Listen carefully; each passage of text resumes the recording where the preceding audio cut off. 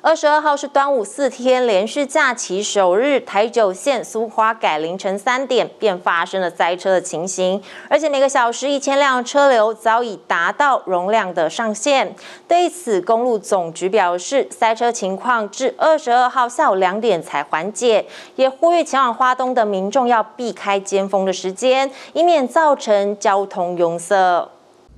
目前花莲地区地房率已达到八成。公路总局第四养护工程处表示，树化路廊预估二十二日南下的车流量达到一万八千辆。当日的首波车潮是凌晨三点起涌现，尖峰时段最高车流量达到一千零三十辆，拥塞情形持续到二十二号的下午两点才能够舒缓。就是南下的车车道车流稍多哈。但是南北车流顺畅，新的分局呼吁民众哈，那因为连续假期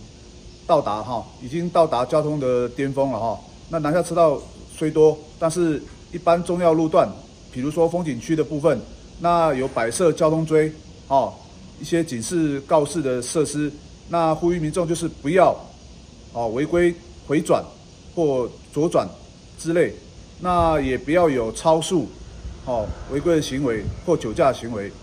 假期的后段，二十四、二十五号北返的车流量为主，预估二十四号北上车流量为高峰，北上全日的交通量达到一万五千一百辆，车潮将从早上的十点起陆续涌现，车多拥塞的情况将持续到晚间的六点才能够舒缓，并且呼吁用路人能够避开尖峰时段。记者林杰修林枪采访报道。